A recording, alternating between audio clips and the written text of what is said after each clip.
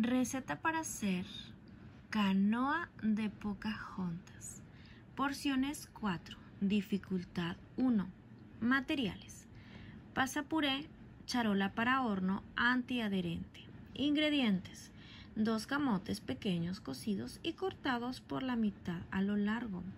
Cuatro rebanadas gruesas de jamón de pavo cortados en cubitos una lata de granos de lote precocidos y drenados, 4 cucharadas de queso manchego rallado, 4 cucharadas de pan molido, 2 cucharadas de perejil picado, 8 ejotes cocidos, sal y pimienta al gusto, una pizca de nuez moscada, media jícama rallada.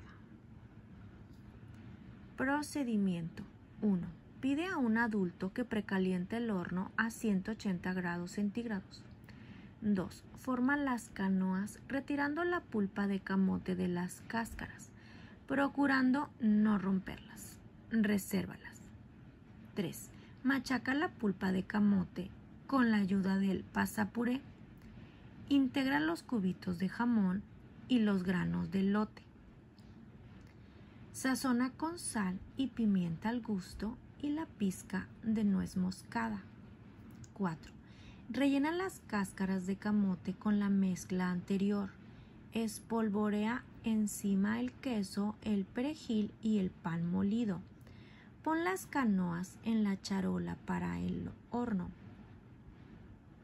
5. Pide a un adulto que hornee las canoas durante 15 minutos o hasta que estén gratinadas en la superficie. 6. Distribuye la jícama rallada en los platos. Coloca una canoa de camote al centro y simula los remos de la canoa con los ejotes.